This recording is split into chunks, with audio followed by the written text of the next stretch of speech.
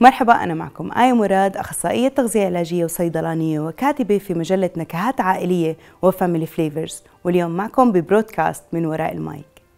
رح نتحدث اليوم عن مشكلة واضطراب بيعانوا منه كثير من الأطفال وهو اضطراب فرط الحركة وقلة التركيز. تقريبا 5% من الطلاب من الأطفال عم بيعانوا من هذا الاضطراب وعم تترافق معهم هاي المشكلة حتى لعمر كبير وحتى بعد البلوغ. فالسيطرة على هاي المشكلة أساس لحتى نقدر نخفف لهم من الأعراض. التغييرات اللي إحنا عم ندخل فيها خصوصا بالصناعة الغذائية من وجود النكهات والأصباغ والدهنيات المشبعة وحتى السكريات العالية عم بتأثر كتير عنا على امتصاص عدة من الفيتامينات. وهذه بتكون أساس بفترات صغيرة من العمر خصوصا بفترة الحمل بحيث أنه بينمو الطفل وإذا كانت الأم ما عندها كفاية من هذه الفيتامينات والمعادن الأساسية فبصير في تأخر في نمو الجزء أو الفص الأمامي للدماغ وربطه مع المنطقة المسؤولة عن الحركة والمسؤولة عن العواطف والمسؤولة عن الشعور. فبالتالي بصير في عنا ضعف في وجود الناقلات العصبية هاي. فوجود الفيتامينات والمعادن هاي الأساسية اللي إحنا بناكلها إذا صار في عنا فيها نقص رح يأثر على نمو هذه المناطق. فوجدت الدراسات أنه وجود نقص في مادة الزنك أو حتى المغنيسيوم واليود والحديد هم من معادن أساسية بتساعدنا على نمو الدماغ وحتى وجود الروابط بيناتهم.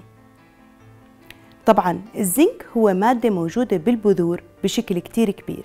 المغنيسيوم كمان موجود بكمية كتير كبيرة بالمكسرات. أما إذا إحنا اطلعنا على اليود فاليود مناطق وجوده قليلة وهو أكثر إشي مركز فيه بالملح. وخصوصا إذا كان هذه مادة اليود مضافة للملح فاحرصوا على وجود الملح المضاف إلى اليود. كمان الحديد مصادره كتير كبيرة وإحنا صار عندنا معلومات كتير كبيرة وذكرناها حتى هاي بعدة من ال articles اللي كتبناها في مجلة نكهات عائلية و Family Flavors أما في مواد تانية بتساعد أكثر بزيادة امتصاصية هاي المواد من ضمنها مادة الكولين اللي هي موجودة في قلب البيض أو حتى بزيت كبد السمك وحتى موجودة ك supplements ممكن إن إحنا نلاقيها بالصيدليات. فهي بتساعد بتصنيع ناقل عصبي أساسي اللي بيساعدنا على وجود التركيز والسيطرة على الحركة الاندفاعية بالنسبة للعضلات.